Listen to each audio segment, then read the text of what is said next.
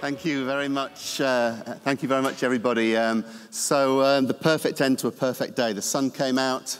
We have Stephen Lambert and a party at Club C21. It doesn't get much better than that. Um, thank you for coming, uh, particularly when, when the sun's out.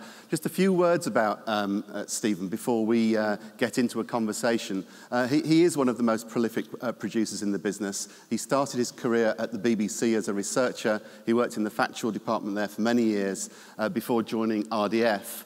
Uh, and, and, that was when the, the shows started, started to arrive, shows like Faking It, uh, which really kicked things off. He left uh, that company, I think, five years ago uh, and launched uh, Studio Lambert. And Studio Lambert, uh, as part of the All3 Media Group, has defined itself as a production company that has really managed to work well, particularly in America. And most recently, uh, as part of uh, the, the group's uh, expansion into that area, All3 America was launched with Stephen at the helm. So I think before we get into a conversation about his thoughts on the format business, maybe we can start with some perspective on what um, All3 America is all about. So perhaps we can see that reel now, please.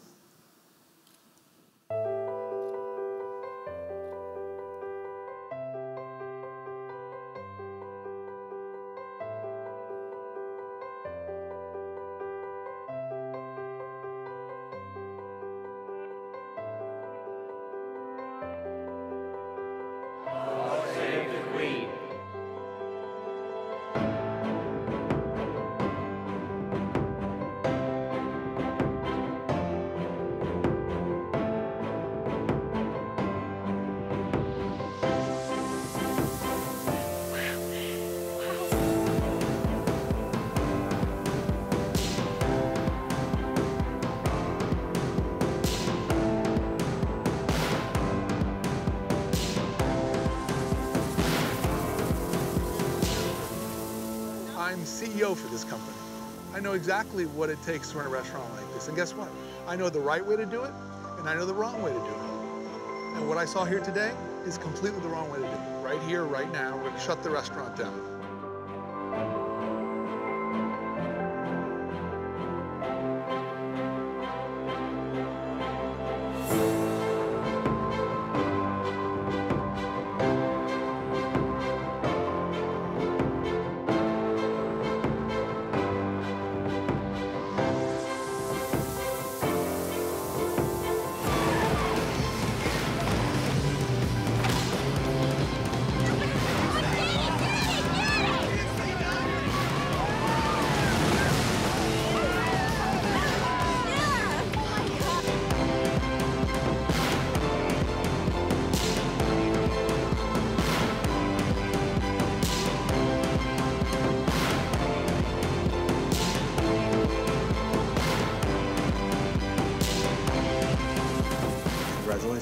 You won. At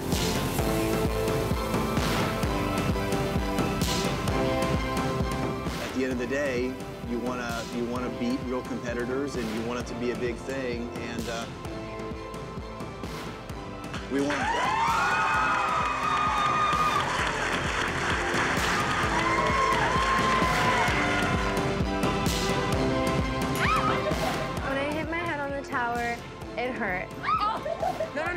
Watch your feet. Watch, watch your feet. And it just went downhill from there. Stop your stop, stop, stop. Do you see this? Oh my god. Oh my. I thought she was gonna die. So how would you formally be addressed? I'd be formally addressed as Nawab Zada Sultan Salahuddin Khan Babi of Balasinor. you have mortgage? We do have mortgage. What's your mortgage? Um, about 150,000 probably. $150,000? Yeah. You told me about that bad business deal you made and you're hurting. So I'm gonna pay off the mortgage.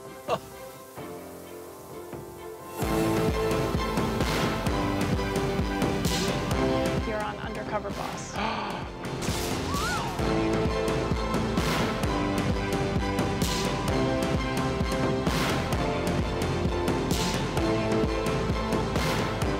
your wingman?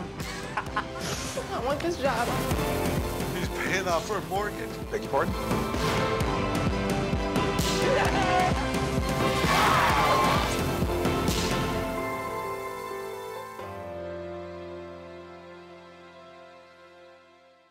So all three America. Um, it's a it's a it's a whole new uh, it's a whole new approach to developing for the company. Can you just give us a little bit about the rationale? Why turn Studio Lambert out of America in a brand sense and all three America in?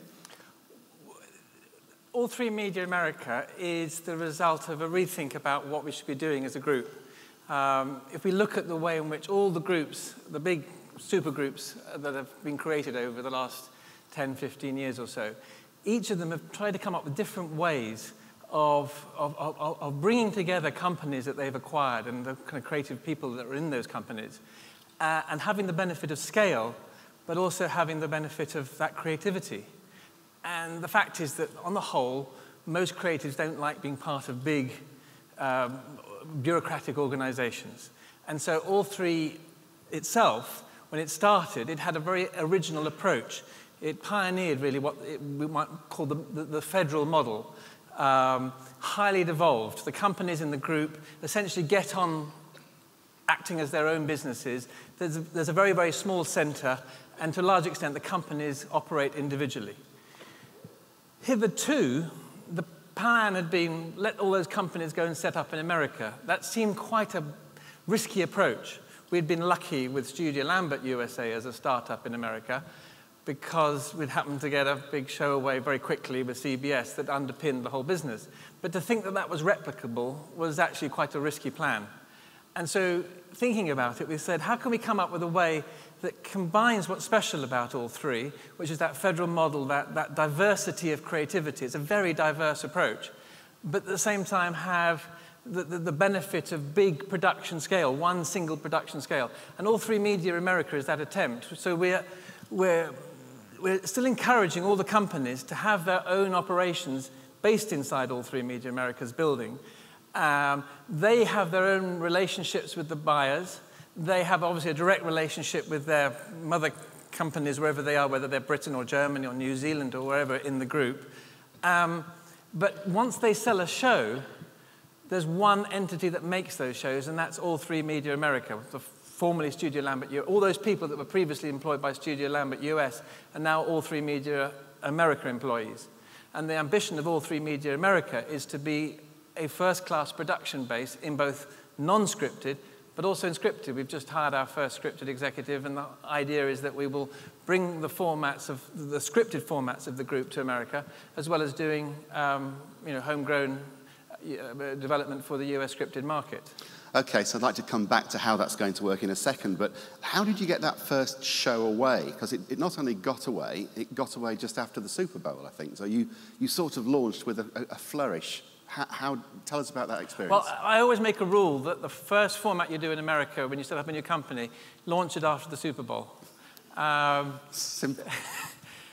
we got very lucky. Um, what, what, what I think is interesting is that model of creating shows in Britain, obviously ever since the terms of, change, terms of trade changed in Britain in the mid 2000s, it meant that we as British producers had a fantastic advantage. Uh, we, we could sell our shows, our paper ideas in, in Britain, and for all kinds of historical reasons, Britain has, is a fantastic place to sell a paper idea. The buyers there prefer to buy a paper idea one, than one that's already been created elsewhere in the world. That's very unusual.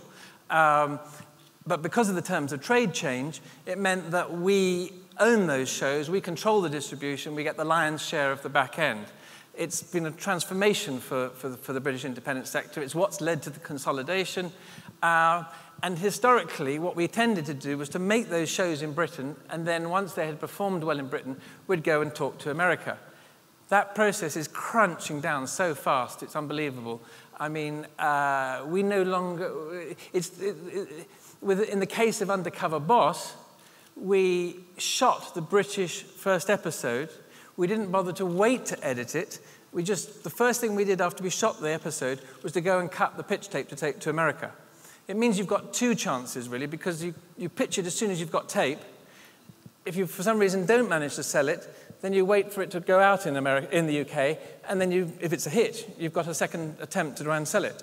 Um, these days, it's getting even tighter. We're, we're currently making a show that we're launching at this market called Inside Job, we're making that for the BBC, but we've also already sold it and have, have just finished producing the pilot for a, a, a large US cable company. Uh, and there we actually just used the pitch materials that we used to sell it to the BBC. So the, that, that, that business of waiting, anyway, in the case of Undercover Boss, we made that tape. We got lucky and had a chance to pitch it to uh, Nina Tassler, the big boss of CBS Entertainment. She seemed actually to be moved by it. She, was that there, what, there was a was, tiny was that little, what did it? it absolutely. I mean, the, the challenge is always to get to the people who are actually going to make the decision.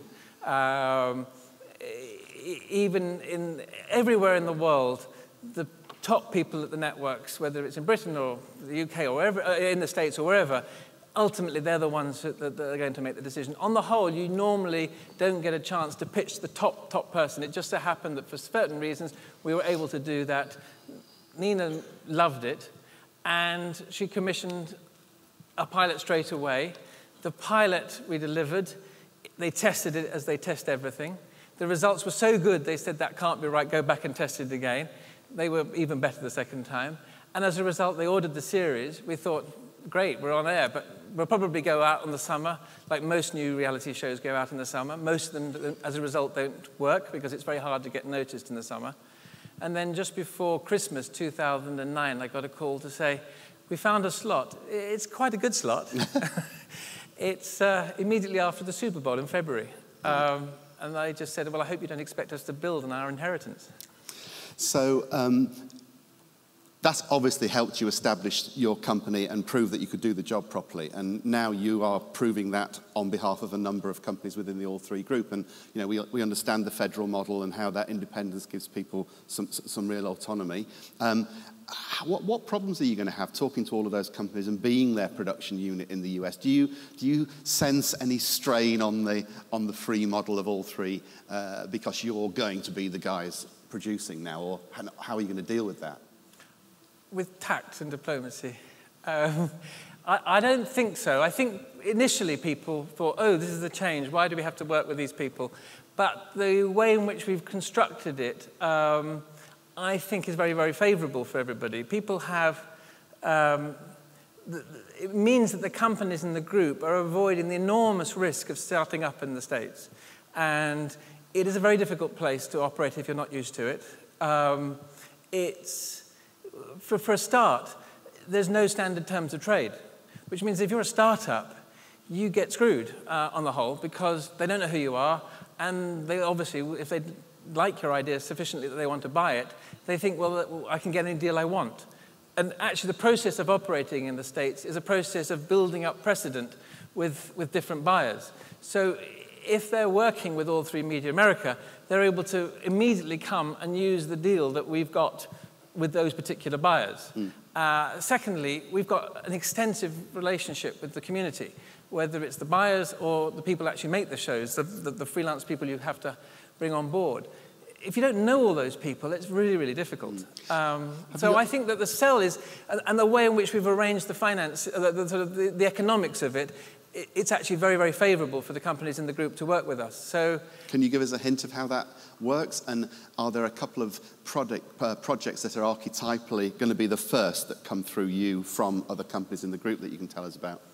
Um, how that works is essentially that it, it, it, it works in such a way that the companies operating with All3 Media in America get such a good deal that it's almost the same as if they were pretty much the same as if they were operating it as their own standalone the company, themselves. which is great.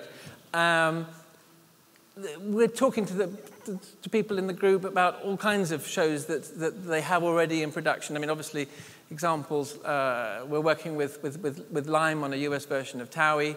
Uh, we are working with Objective on a number of shows that they have um, already on, on, on, television in the UK. Uh, Maverick had already employed somebody who's now working with All3 Media America, and that's, that's largely currently um, specific development for the US. I mean, the, the benefit of these, for these companies is not simply that they get to send their formats to All3 Media America and have their person working in America on their formats they also employ their own people who are going to do US development. So, uh, you know, US cable television is primarily driven at the moment, non-scripted, by DocuSoap. So it's actually quite difficult to get formats across. The biggest buyers for formats in the US are, are other, other broadcast networks. So the big, the big fish are actually the ones that you're going, that you're going for. Yes, but again, of course, not every format that works on British television is necessarily going to work um, for, a, for, for, for, a US broadcast network. I mean, a lot of British formats tend to be built, built around on-screen talent uh, and often are very specific to the British taste and trying to find the American equivalent. Sometimes, obviously, I mean, there's been many examples of UK talent, on-screen talent, going and ending up presenting uh, the, the, the, American versions of the shows, but that's difficult. I mean, they have to be in two places at once if they're going to carry on doing those shows. Clearly, there are examples of it, but it's, it's, it's tough.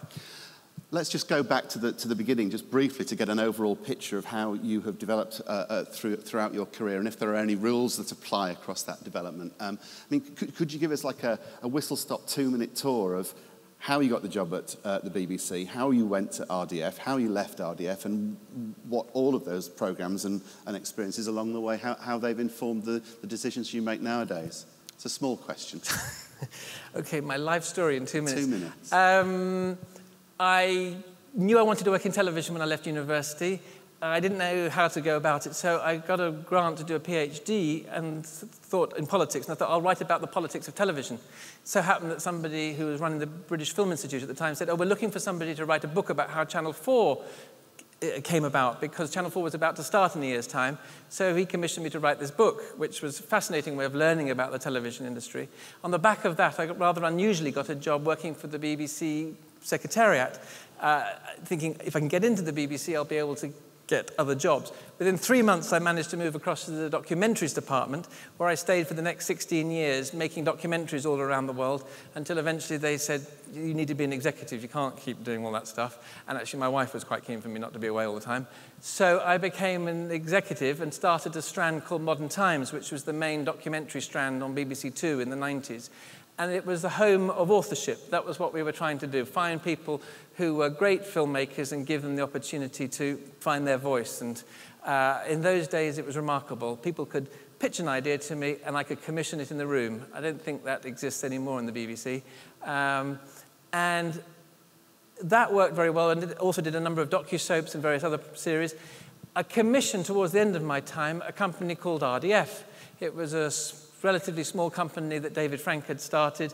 And David and I got on very well.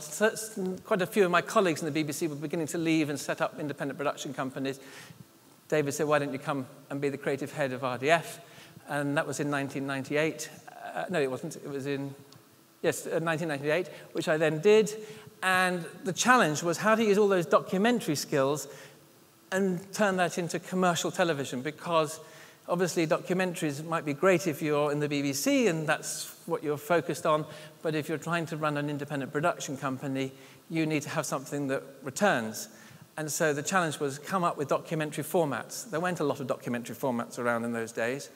Um, and the first one, as you mentioned, was Faking It, um, which was a great success, much loved. It was a difficult show to make a lot of episodes because each time we went into a different world, and eventually we ran out of of worlds. Our big mistake was not realizing that most of those worlds, I mean, we did one, for instance, on somebody faking it as a ballroom dancer. If only we'd thought that that would be quite a good idea. We did one on somebody faking it as a top chef and used some relatively unknown cook called Gordon Ramsay as the mentor.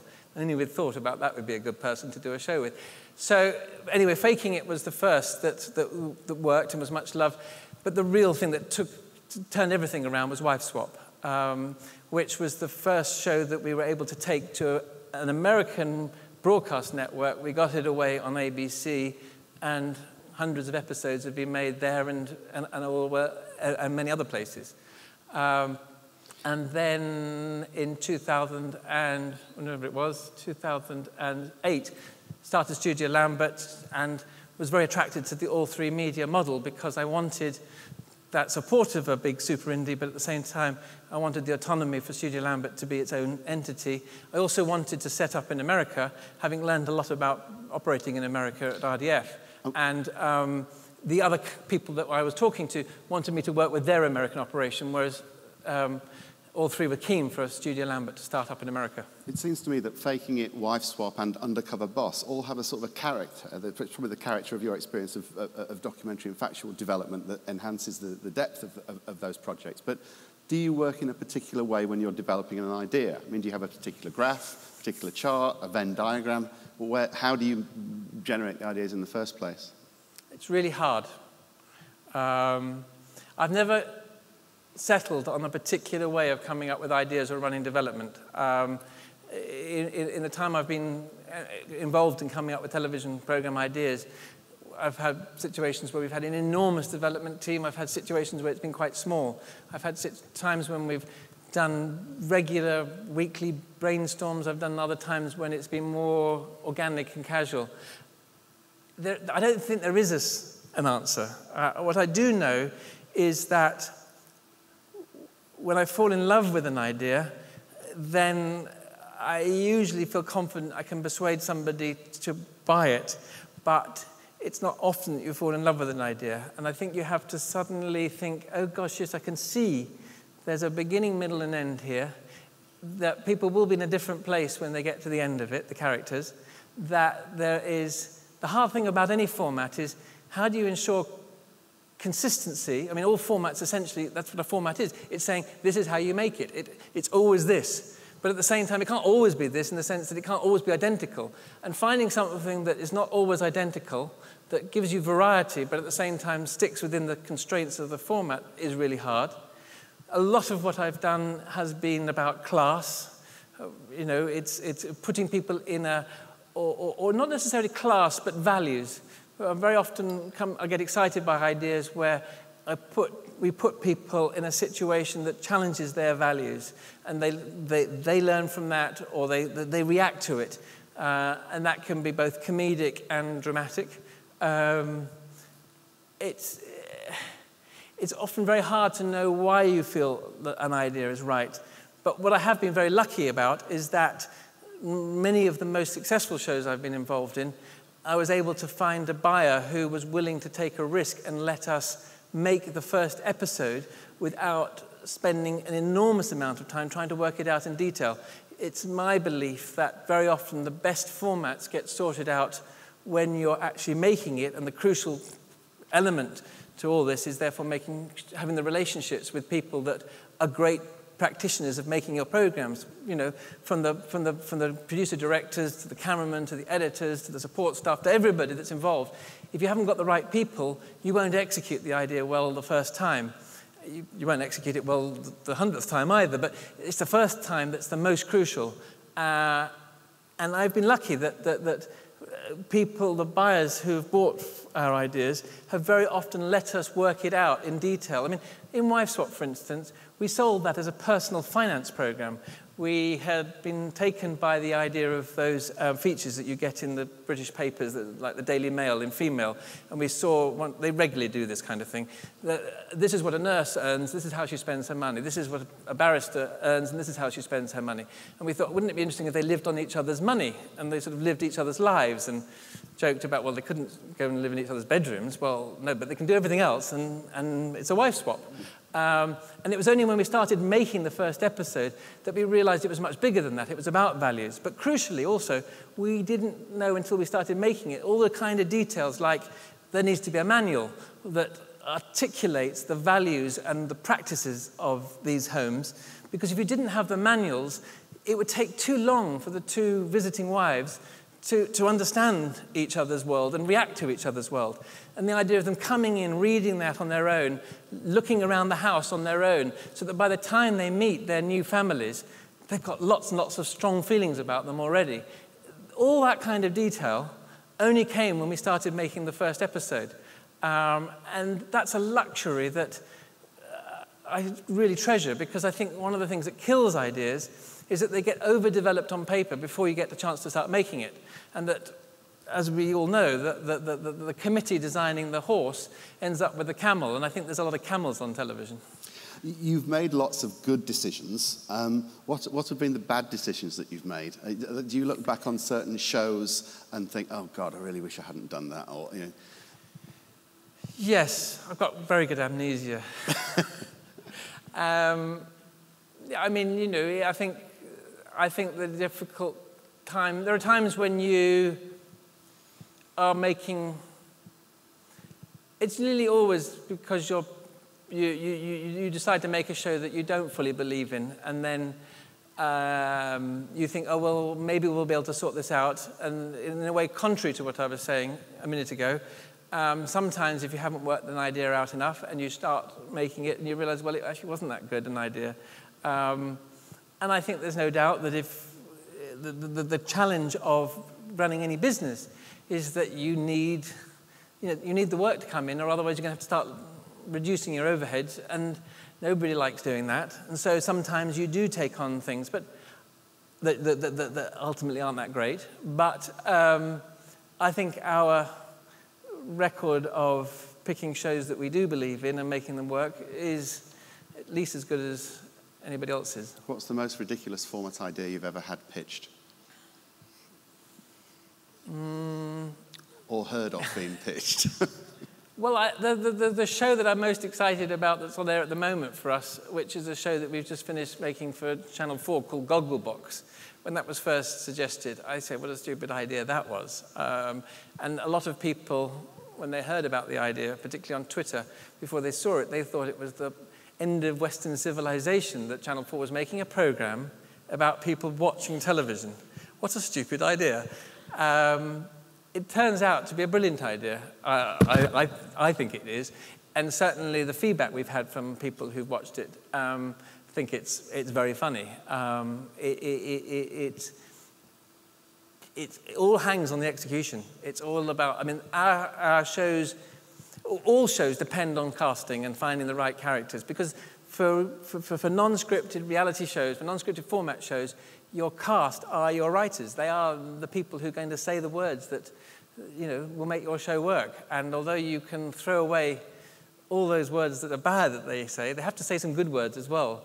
And um, sometimes the format is very strong and you can sort of get away with a relatively weak cast. But something like Gogglebox hangs entirely on finding a cast of characters who are a cross-section of of Britain, uh, or at least they reflect some of the geographical and, and, and, and uh, class variety of Britain.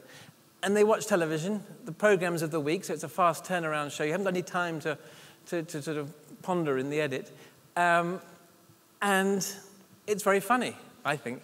It's like the logo, it seems what, that what's happening is that there's a lot of uh, celebrity or talent fronted formats that are all very working very well in their domestic markets. Uh, but isn't that sort of a barrier to those things traveling? Because you are now relying on the cast rather than the format, as you, as you said in this instance. And that, that happens US side and uh, Yes, but, but, but, but, but, but the, that particular example of Gogglebox, obviously you could make that all over the world because you can go and find your cast for that program in that territory. Mm. What we were talking about earlier is, is, is, is, is, is the fact that a lot of British formats are, driv- are built around um, you know, very, very strong on-screen British talent. Mm. Um, and that's the hard thing. I mean, it does exist. You know, look at Gordon Ramsay. He's in both countries. I mean, somehow he's cloned himself. He seems to be there everywhere.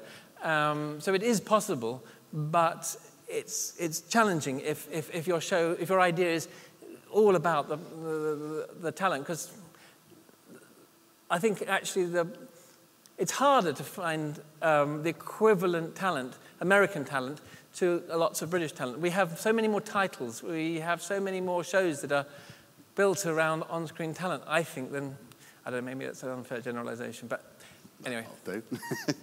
I think it's perhaps time for some questions. Um, does anybody have a question? Could we put the lights up? And um, there's one right down the front, if we could have a microphone down here. If anyone else has a question, put your hand up, let me know who to come to next. If you could let us know who you are and where you come from. Hello, uh, Stuart Dredge from MIPBlog and The Guardian. Um, your shows generate a lot of social media chatter naturally. People are watching and tweeting and Facebooking. But how much do you think creatively about second screen, social media, digital stuff, apps, when you're thinking of formats and programs? Mm, when you have an idea that you realize has great potential in terms of second screen, uh, then you get very excited about that and put a lot of effort into trying to work out how to do that well. Um, but it's not a requirement to have that because that would be too limiting. Um, and um, but right now we're developing a show that we hope will get ordered at the end of this week, and it has a very big second screen element, and that's terrifically exciting to have that. Um, but equally, lots of other programs don't have it.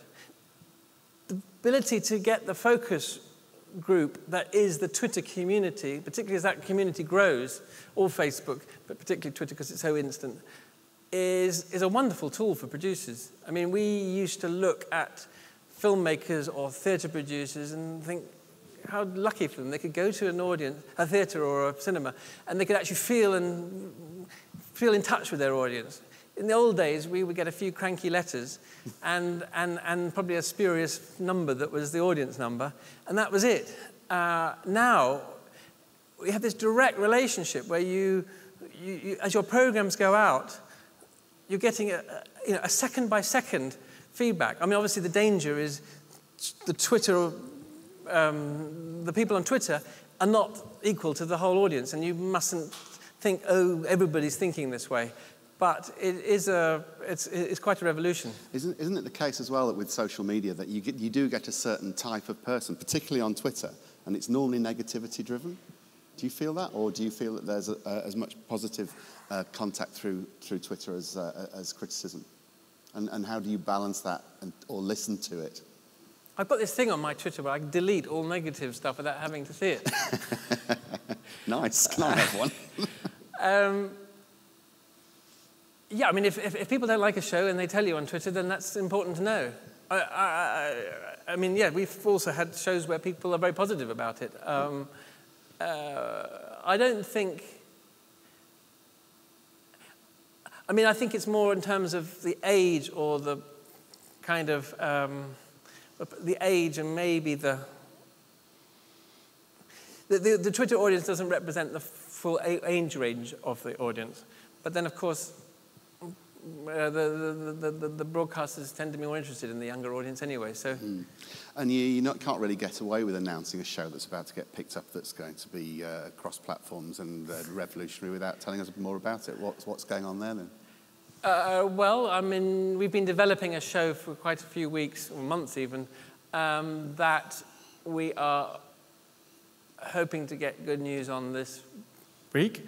Um, I'm rushing back to America to do the final run through. Okay. Um, and it's, it's a hybrid. And I think that, in a way, one of the things that the, the, the future holds is all the time finding more hybrids. It's a hybrid between a reality show and a, a, a, a sort of quiz game show.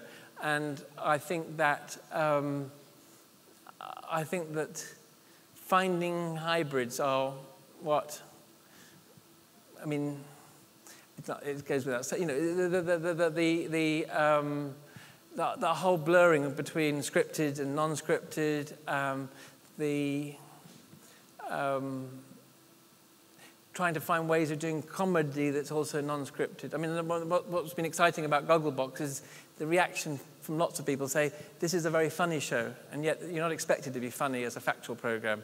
Um, so you know, we often make factual or formatted factual shows that have a bit of humor in them, but they're not, the, the, the primary purpose of them is not to make you laugh. With the, what was exciting about Gogglebox was that its, its primary purpose actually is to make you laugh.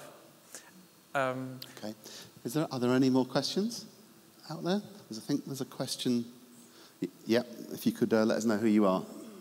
I've never seen you before. I'm, uh, I'm Jonathan Webdale from C21. Oh, right. Um, I, I, was just wondering, Stephen, um, you've probably seen that Simon Cowell, sort of sticking on the digital theme, has, uh, has, has, recently launched his latest um, format via YouTube. I was wondering if that's, if you were aware of it and what you thought of it, and whether that was something that you were interested in as well, or are you sticking with the broadcast networks?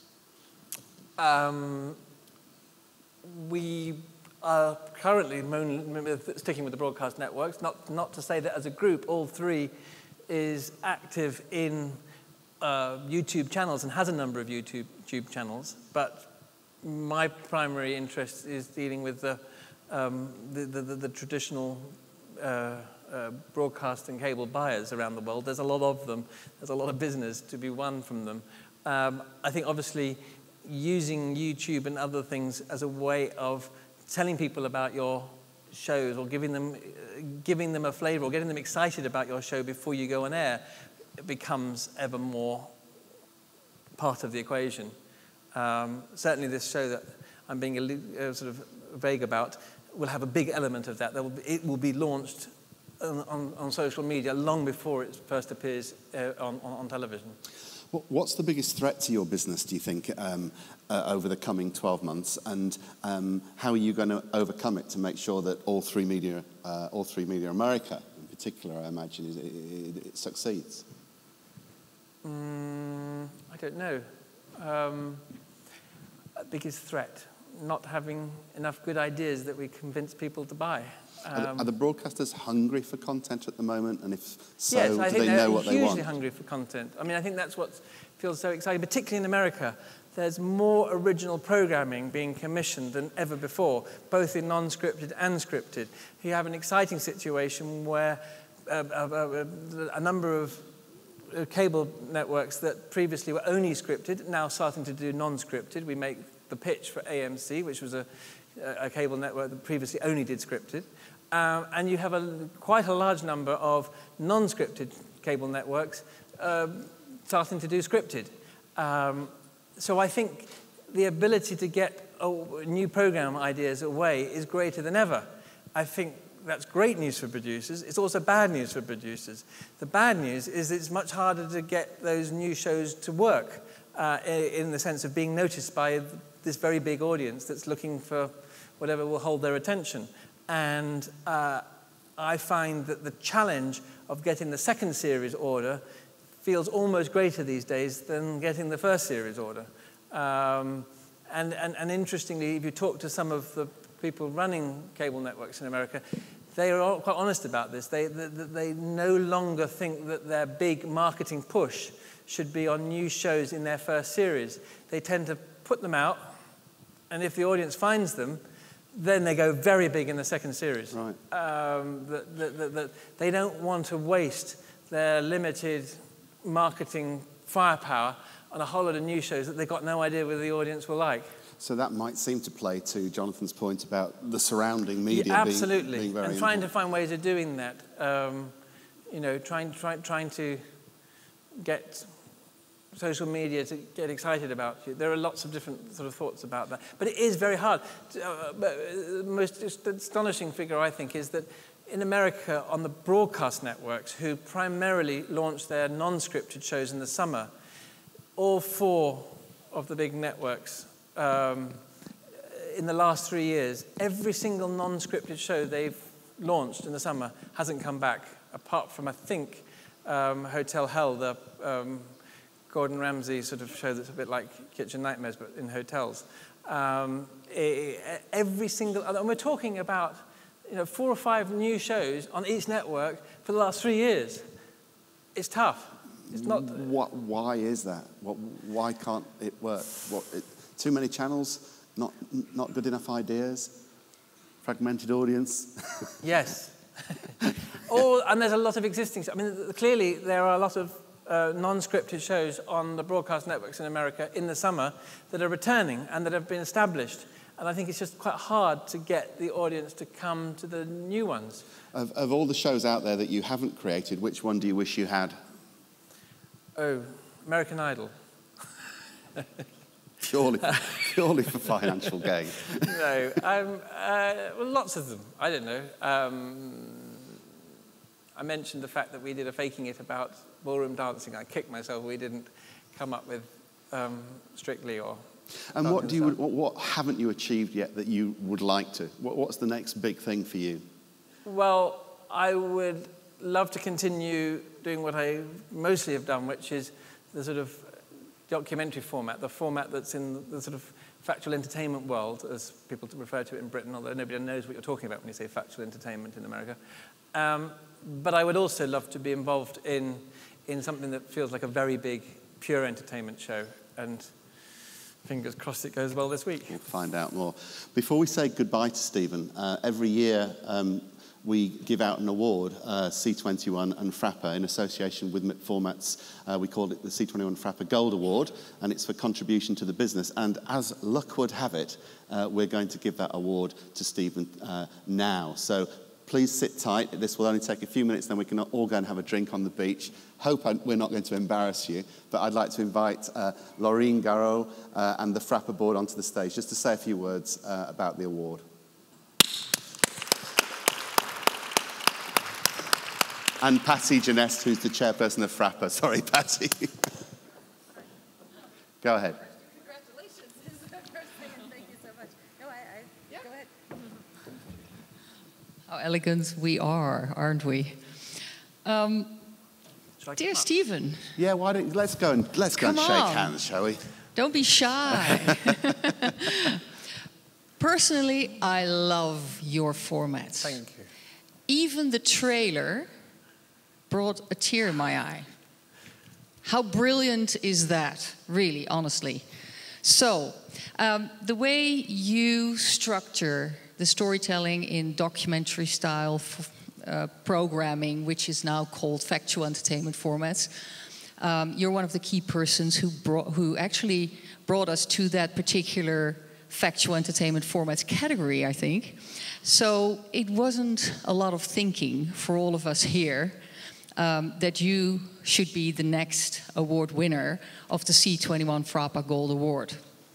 So it's the 10th year, actually. Your name will be in the list of uh, Reg Grundy, who was the first one in 2003. And there's a couple of others like Stephen Leahy, Trish Kinane, uh, David Lyle, of course, uh, Peter Bazalgette, Dick de Rijk. um, Dick de Rijk, and well, here you are now. Or isn't that fantastic? I hope you like it, receiving this award. I'm not sure if it's your first award ever. Maybe with one of your fa- factual entertainment formats. You did with all three, of course, uh, and well deserved. So, congratulations on behalf of the FRAPA board. Do we have a picture? Thank you. Thank you. Thank you. Should we Thank just get a, a quick Thank you for your picture before we uh, Sure. gather in, gather in, gather in?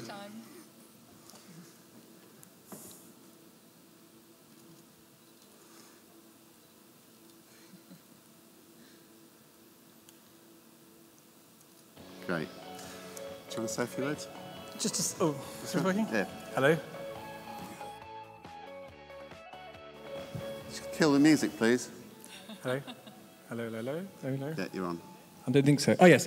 Uh, thank you so much. It's a great pleasure to receive this, and that's a very um, illustrious bunch of people, of reprobates, uh, to be accompanying uh, as, as also receivers of this award.